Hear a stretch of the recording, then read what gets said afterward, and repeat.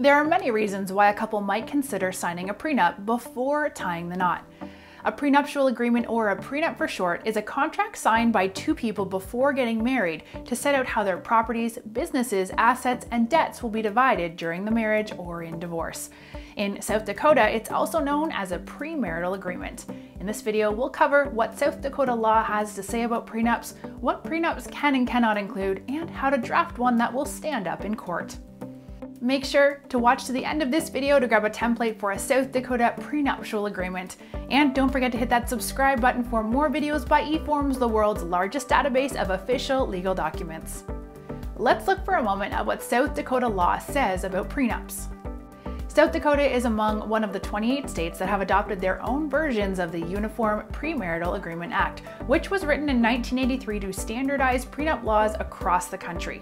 According to the law, a prenup must be in writing and signed by both parties before the marriage in order to be legally valid.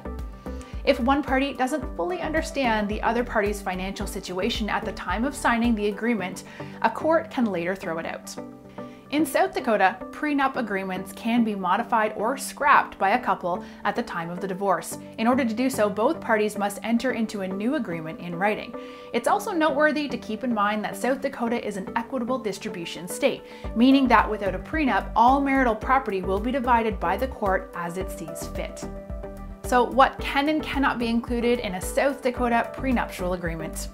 A prenup in South Dakota can cover a variety of different issues, including the rights and obligations to property, assets, debts, the right to life insurance, and more.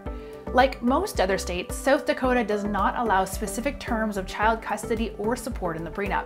In addition, under case law, South Dakota does not allow prenups to predetermine alimony. Next, let's go over how you can draft a prenup that will stand up in court. In South Dakota, prenuptial agreements are typically upheld if the court decides that each spouse signed the agreement freely and voluntarily, all assets and liabilities were disclosed, and the agreement was written and signed in contemplation of marriage, meaning that the couple negotiated and signed the agreement with the full expectation of getting married you can get an agreement that will be accepted by a South Dakota court at the link right here. And don't forget to hit that subscribe button so you can access more videos that guide you through some of life's most complicated and potentially costly situations.